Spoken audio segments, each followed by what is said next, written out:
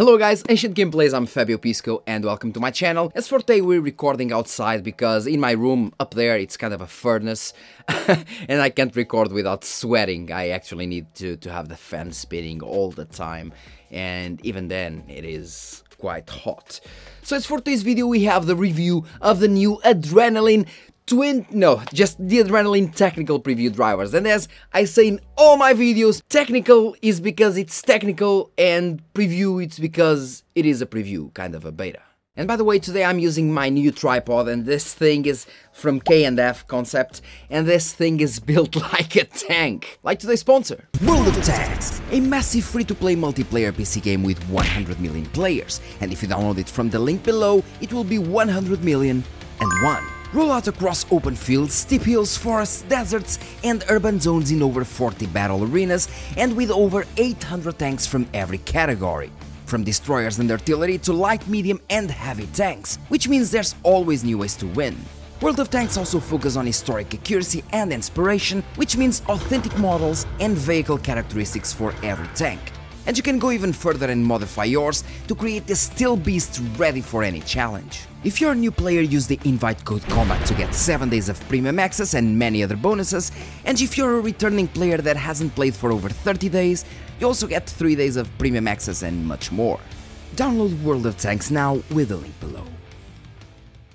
These drivers are the technical preview for AFMF2 and if you don't know what AFMF is, it is a frame generation technology that doesn't need um, to have frame generation implement, implemented inside the game. It isn't as efficient or as good in terms of quality compared to FSR3 frame generation because since it isn't inside the game it doesn't have access to, to the game's motion vectors but the overall quality and now with AFMF2 the overall latency was also decreased while the overall quality was increased. So it is what it is, frame generation technology. And these technical preview drivers allow you to use AFMF2 on the RX 6000 series and 7000 series. So you, if you want to test AFMF2, like you see in this video passing right now on the screen that I released some hours ago, you just have to download these drivers and AFMF2 will be enabled for you once again if you have an RX 6000 and RX 7000 series.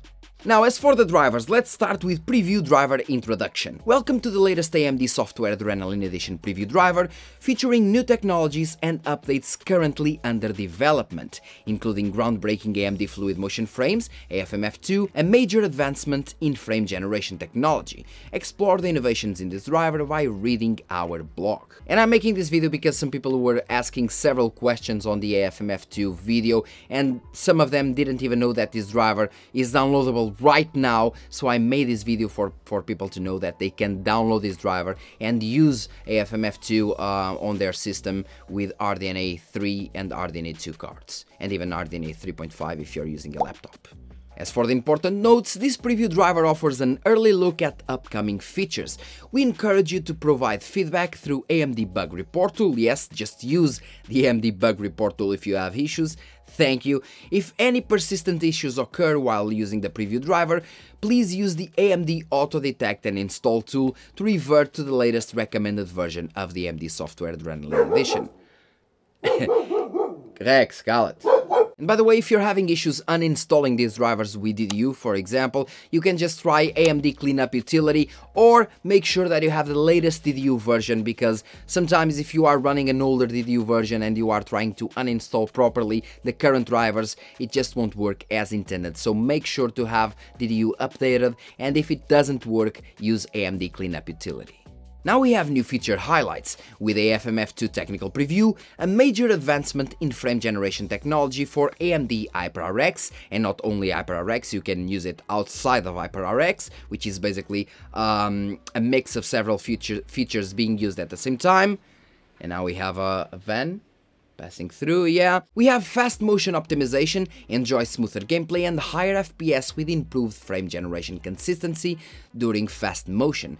This is one of the things that, it, that they improved because with the FMF1, the, as soon as you made some really really heavy or some really really fast mouse movements, basically if the input on the mouse was really aggressive, um, the frame generation would disable itself for let's say one or two seconds and then would go back up. And that made um, made um, the motion feel really really bad because once again we were having like frame generation no frame generation frame generation no frame generation and the pacing uh, would make the game feel kind of stutterish while AFMF2 improved that a lot.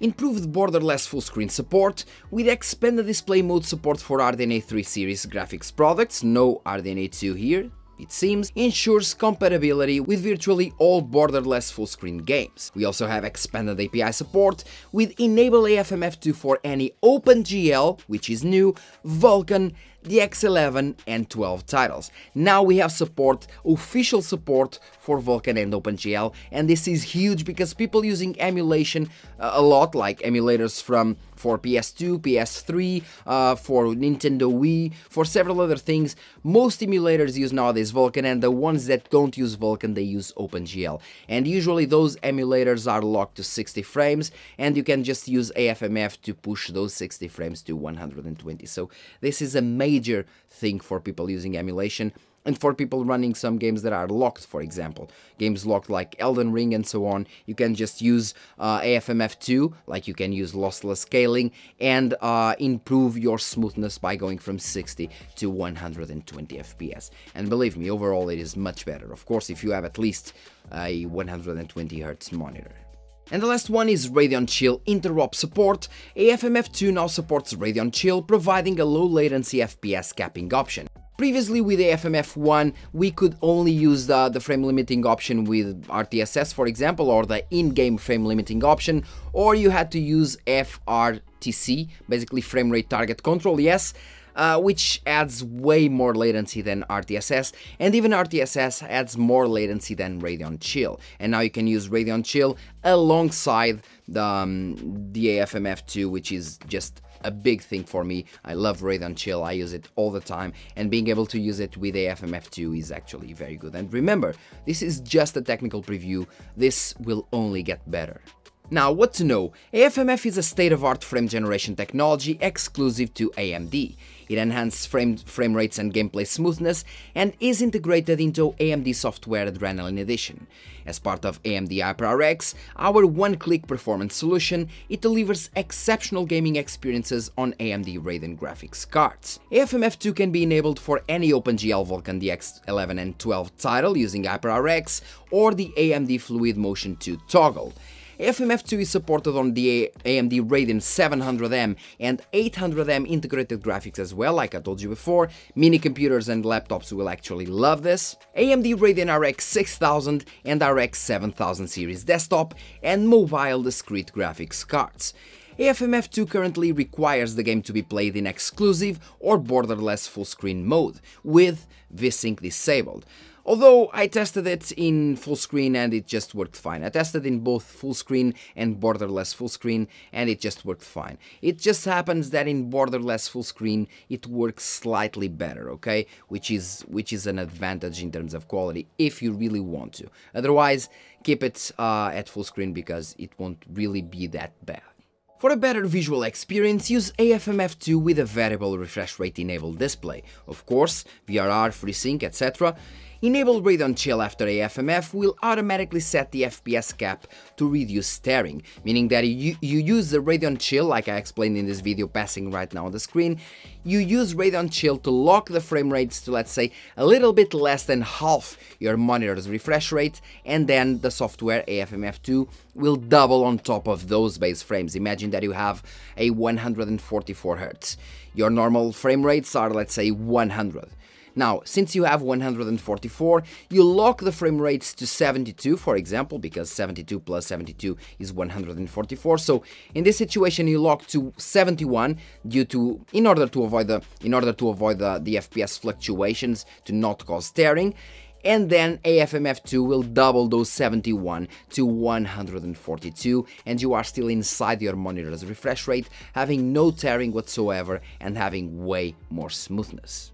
You can also use the in-game overlay with Alt plus R in the AMD Software Adrenalin Edition to check AFMF's frame generation status. AFMF2 adds frame generation technology to boost FPS outside the game's engine. Users can enable AMD Software Performance Metrics overlay to see the resulting FPS. And by the way, yes, um,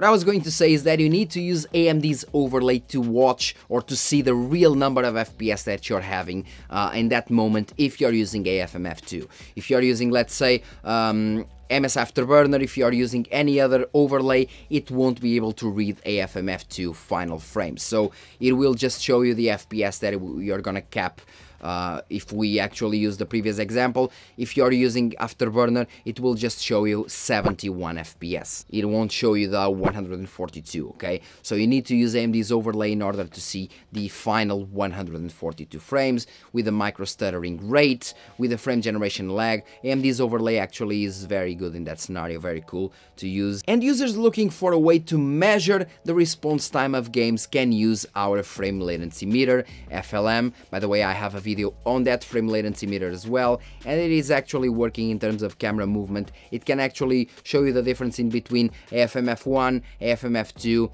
and even FSR3 frame generation or no frame generation whatsoever, which is actually pretty nice as well.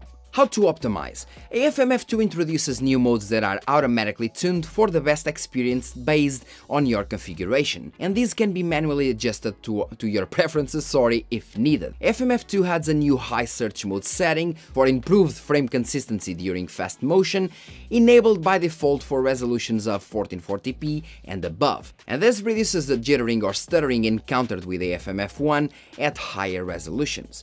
AFMF2 adds a new performance mode setting to reduce frame generation overhead, basically meaning that it will cost less FPS to enable AFMF2 with this performance mode, enabled as performance by default for integrated graphics products.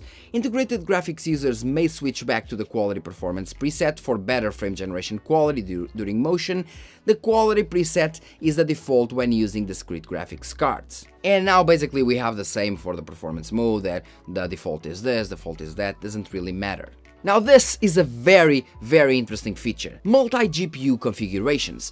For any hybrid graphics configurations, AFMF2 will use the displaying GPU for frame generation, allowing the render GPU to focus on the game and this is really really awesome. I'm still waiting for the for the ZenBook 16 or X16S S16 or something like that that AMD sent. They actually had to send, send it from America, um, then to Europe, then to Portugal, and that's why it's taking longer. But I believe it will be here this week with um, with the Radeon 80 890M RDNA 3.5 and so on. What this means is that AFMF2 can actually display the image with the integrated graphics, meaning that it won't take resources of the discrete GPU to use AFMF2, meaning that your game won't have any performance drops because you're using the integrated graphics for AFMF2 and the discrete graphics for the game, which is very, very nice actually. I'm eager to test this to see if it works properly or not. And for people asking themselves if this will improve or not, yes, of course it will. They are releasing the technical preview exactly in order to improve quality, latency and so on. That's what they want. They, they themselves say, what's next? We are continuously refining Hypr-RX with AFMF2, using feedback from gamers across thousands of games to drive innovation. Join the conversation by sharing how well AFMF2 is working on your system. We also have a fixed issue with AFMF may become inactive after enabling certain on-screen overlays. I tested with MS Afterburner and other overlays and it worked fine. And we have the known issues, with performance metrics overlay may intermittently report, report NA after task switching with certain display configurations. I actually had a user telling me that they had this issue. Baldur's Gate 3 may experience an app crash on AMD Ryzen AI 300 series processors. Intermittent driver timeout may occur after opening the Xbox game bar, while AFMF2 and RSR is active with certain Vulkan games. So if you're running some Vulkan games like, let's say, Red, Dead Redemption 2, if you're using RSR and AFMF2 at the same time, with Hypr-RX of course, well, and while using the Xbox Game Bear, uh, Game Bar at the same time, Bear, Game Bear, the Game Bar at the same time, it might cause issues. And the last known issue is AFMF2 may intermittently become inactive after doing a task switch with certain applications. So as you saw, these drivers are mainly for AFMF2, and here in the release notes they explain everything you need to know about AFMF2, what it brings new, new features, new performance modes, and so on. And if you want to see it working in real life, or at least least with me explaining it in real life and you watch the FPS, you have this video passing right now in the screen. And by the way, I had early access to these drivers, so I've been running them daily as a daily driver for like for like a week, maybe a bit more than a week, and I can tell you right away that on my 7900 XTX they are basically perfect. Um, they do have one issue. The only issue that I encountered is that my overclocking profile isn't 100% stable with these drivers, but that's about it. It just won't retain the overclocking settings, and when this happens, it means usually that the overclocking settings aren't 100% stable. Uh, while they are on most driver versions, with these technical preview drivers, well, it isn't. But it isn't actually an issue because it's a me issue because it's my overclocking profile. If i was running the card stock it would be completely fine. I also tested battlefield 2042 it is working perfectly as with the 24.7.1 drivers. Fortnite is also working fine. Uh, ea fc sports 24 is also working fine. So i mean it's basically 24.7.1 drivers with AFMF2 maybe with some tweaks here and there and well guys, thank you very much for watching, don't forget to like, subscribe and share this video. Leave in the comment section your experience with these drivers and don't forget, let me know if AFMF2 works well for you, if these drivers actually cause some issues and remember, these are kind of beta drivers, they're the technical preview. Things will change, things will improve and get better and that's why AMD is releasing these drivers. So test them at your own will, of course, but test them as well at your own risk. Let's say that. Take your own risk because it, you might encounter a bug here and there because once again, these are technical preview. And if you encounter a bug, use the AMD bug report tool and report that to AMD so they can fix the bug and make things better overall. Once again, thank you very much for watching and see you guys in the next video. Cheers.